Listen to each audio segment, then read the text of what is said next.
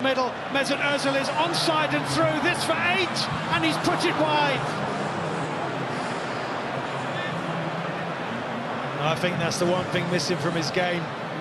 Ozil, that ruthlessness, great run through the middle.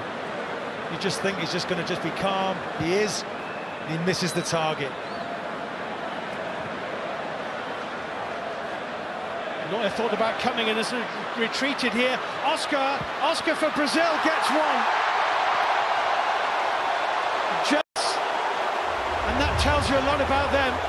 The Germans are absolutely livid. They've let one in. Well, for once, Neuer, he's not there, the sweeper keeper. You expect him to be covering. He starts to come and he goes back, and Oscar does the rest.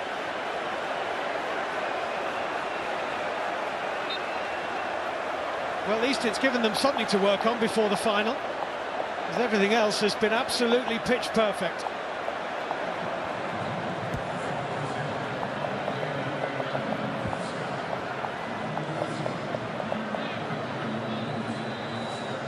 Oscar scores the most pointless of World Cup goals.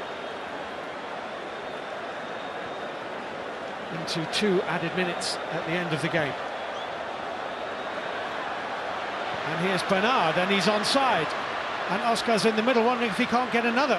And here's Willian,